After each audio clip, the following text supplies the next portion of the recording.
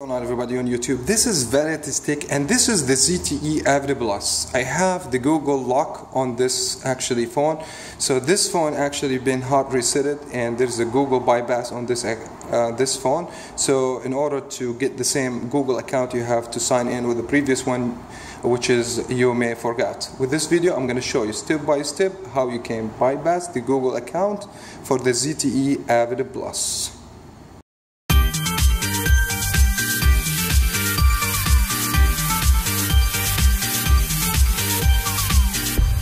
we start, I want to explain uh, a few things for you. So okay, mainly you need to download application.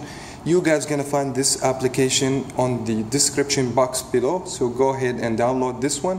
Then you need to connect your ZTE Plus to your computer or laptop, and then you have to copy this file into your uh, uh, cell phone. So I'm gonna show you how you actually get that file and then copy it. We're gonna go step by step in order to show you how to do it. Simply, you don't need to think about like how it's done and what you need to do. Just follow my step and you should be okay. Now what I have done, I just put the USB to the phone from my uh, laptop. Then the phone it should be identified to your PC. Now, if you guys can see this highlighted application, this you guys gonna find it on the description. So go ahead and download and then once it's downloaded on your PC, just copy this one and I will put it on the phone go to my computer and then go to the ZTE and then just go to the storage and paste this one over here. This is actually the first uh, step. Now we're gonna go to the second step, but before make sure you are connecting to Wi-Fi or 4G or whatsoever, and then just uh, uh, I want to just fix the zoom. So okay, say enter your email, and the keyboard should pop up over here. So you need to hold in this buttons right here, which is the gear button or it's actually add button but if you keep hold in this one you should be able to see the gear. So then slide your finger to the gear and go to Google keyboard settings and then go to uh, text correction then go dictionary and then choose United States and then go to the plus sign and add any word you want and then go to the search icon and then on search just hit G number uh, or letter G. And then go to Google voice typing.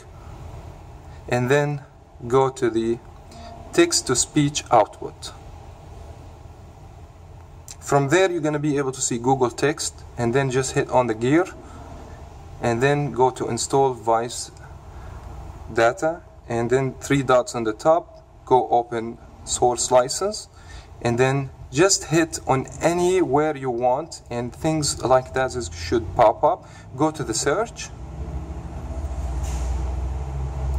And then you have to go actually here to file manager. Okay and then we should pop up. There you go. So this is actually the first uh, the second step. We're gonna move on to the third step. now when you got this point let me just tell you go to all and you guys to be able to see the quick shortcut application that we just downloaded. Go ahead and press on this one and go to settings because this is an unknown source. And you guys to be able to see unknown source. Just activate this one and go back. And then go to the same application and install that application. Then accept this time. And then go to open. Just gonna hit open. And then you have to type here Google account. And you guys gonna be able to see account manager. Hit on this one. Okay and then you have to go to Google account manager type email and password over here. Click on this one. Now just click on try you guys gonna see this three dots in the top now what I'm gonna ask you to do accept and then okay now you have to log in to any of the Gmail account not necessary to be the previous one for security uh, reason I'm gonna skip this part because I want to put my email not the one that I have used, any one I have before, and then I will come back to just you. Just enter the password, so let me go ahead and log in like that. You're gonna just wait till it sign in. What's gonna happen now uh, it's not going to give you to add the Google account when you restart the phone. So go ahead and click on restart.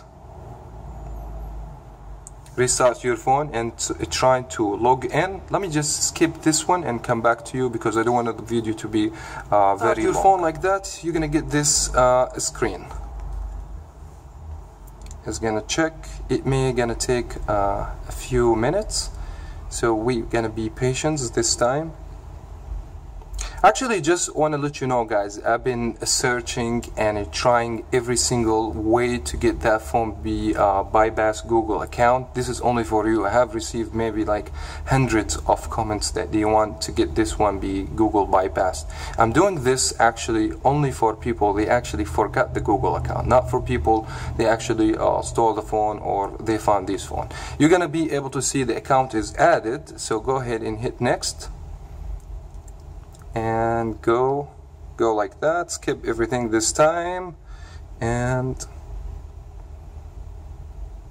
so it's gonna say restoring it maybe take minutes or two minutes or whatever but right now as you guys can see we have passed the Google account. What we're gonna do is actually uh, once we get access to the phone we need to go to the settings and then after that we need to factory reset the phone as a regular way. That way actually your phone is gonna be 100% clean from the old Google account and you don't need this anymore to bypass your Google account. And it took me about two months just thinking how to figure out that way to to bypass the Google account.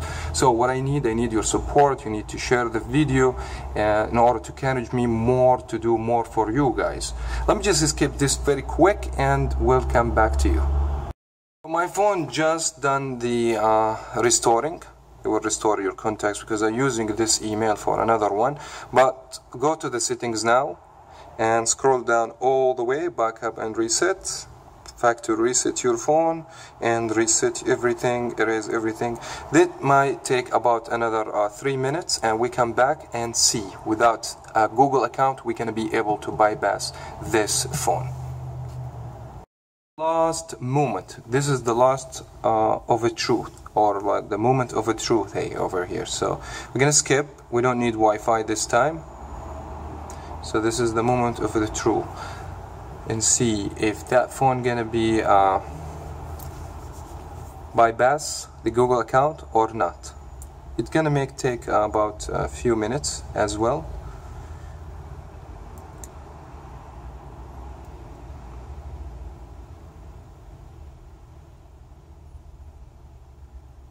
because there is no connection so they're gonna start checking connection. But this is actually normal. Maybe eventually it will give me a message that this phone no internet or something because this phone is actually is not active phone. I don't have any service or 4G in this phone. So but this is normal. Now just say skip like that. Skip anyways. I want to skip everything. And as I told you this is very much it. I believe after you do everything. Let me just do a uh, recap.